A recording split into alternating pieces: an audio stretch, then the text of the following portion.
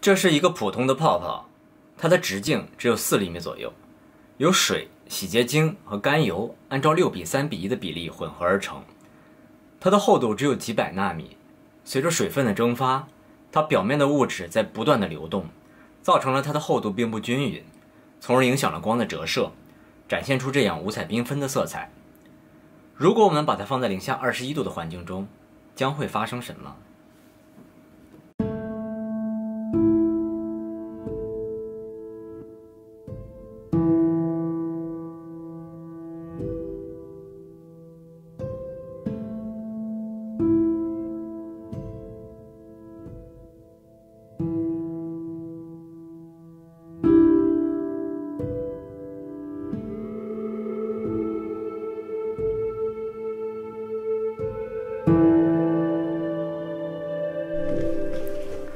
为什么我会想去拍冰泡泡的视频？事情的起因是这样的：每一年过年回东北，能做的就是那么几件事情，要么就是堆一个漂亮的雪人，要么就是打雪仗被虐。今年我决定玩一点不一样的。我是 UP 主前进的查理，今天就由我来教大家拍这种绝美的冰泡泡视频。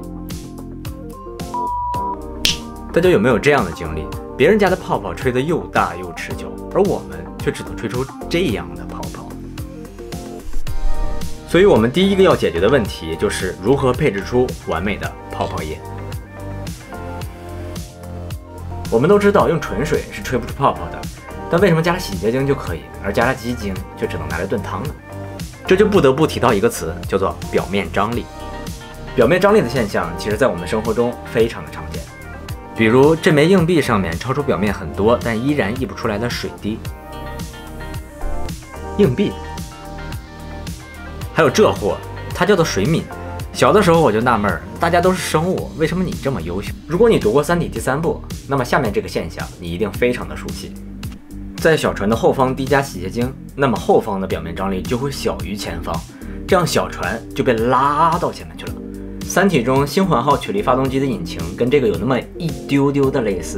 以上所有提到的现象都是表面张力的作用，而纯水之所以吹不出泡泡，就是因为表面张力过大，需要加入表面活性剂来降低表面的张力。而生活中最常见的表面活性剂就是洗洁精。有了洗洁精，我们就有了简单的吹出泡泡的能力。如果你想吹出这样的泡泡，啊，错了，是这样的泡泡，那么你需要的是。聚合物。有一位美国教授，他叫 Justin Burton，他在西班牙开会的时候，看到街边的艺人吹出巨大的肥皂泡，对此产生了浓厚的兴趣，并且进行了相关的研究。美国的学术压力是不是不太大？并且他还拉着自己的研究生一起去研究泡泡。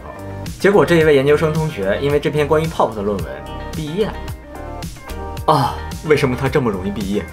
文章中表示，适量的聚合物可以让泡泡的表面更厚，以至于泡泡可以吹得更大、更持久。很多泡泡液的配方都会利用瓜尔豆胶作为溶剂里面的聚合物。什么豆胶？瓜什么胶？瓜尔什么？我知道你们肯定在说瓜尔豆胶是什么鬼，请忘记这个词汇。在我们的生活中有很多可以替代瓜尔豆胶的物质，比如说甘油，比如说胶水。而本次视频里我们采用的就是甘油。接下来你要做的就是找到一个足够冷的地区。这张图来自于中国气象台官方网站，标注了2021年2月10日早晨8点的温度区间。如果你恰好所在的地区在这条线以北，那么恭喜你，你可以开始玩冰泡泡了。对于很多人来说，泡泡只是用来逗孩子的工具，不，它可以拿来毕业。但其实它能给我们带来的不止这些单纯的快乐。十九世纪科学家开尔文，对，就是八年级物理课里学到过的那个开尔文说过。如果你吹一个泡泡并进行观察，你可以对它进行一生的研究，并从中获得一个又一个的物理定律。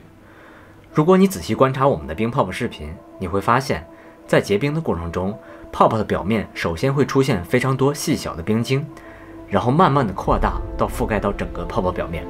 国外有科学家团队对这个现象专门进行了研究，因为这个议题与冬眠这个现象息息相关。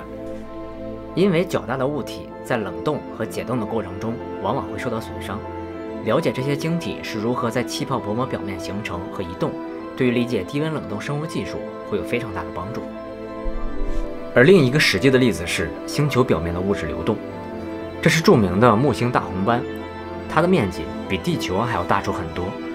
木星表面的超高压和超过一百米每秒的狂风，让这里成为人类无法涉足的地方。这是我们地球上的台风，和大红斑一样，我们都可以在肥皂泡表面来重现这一现象，通过泡泡表面不同的颜色来追踪液体的流动轨迹，以此来研究这种复杂的流动模式。刘慈欣有一部短篇小说，叫做《圆圆的肥皂泡》，讲的是利用泡泡来去改善西部生态环境的故事。这当然是一个科幻的想法，但是人们眼中的玩具是科学家手中重要的工具，来去帮我们探索那些我们无法触及的领域。也许未来在我们征服星辰大海的旅途中，真的少不了这样一枚普通的泡泡。